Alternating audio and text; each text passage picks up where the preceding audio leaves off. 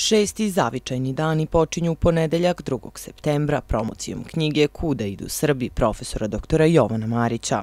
A dan kasnije na istom mestu biće održan susret zavičajnih pisaca.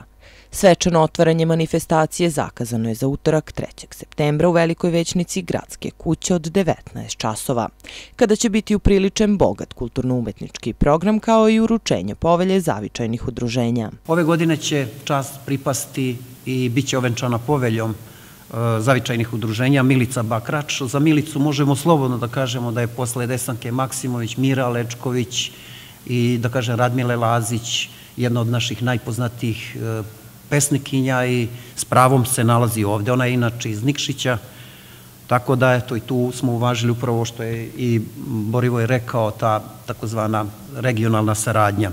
Osim nje, e, gosti će nam biti čuveni hor Serafin Sorovski. Dakle, to je hor koji nas predstavlja na svim internacionalnim festivalima i zaista se radi o vrhunskoj umetnosti. Nastupi folklornih ansambala dečijih horova i konferencija Beba i ove godine biće upriličeni na gradskom trgu.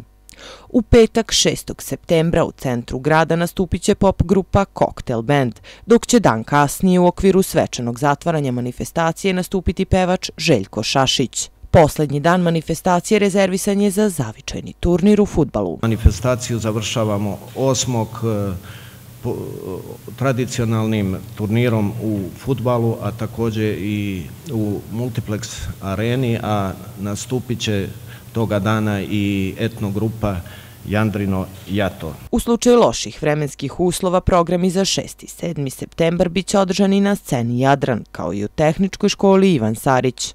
Manifestaciju Zavičajni dan i ove godine finansira grad Subotica.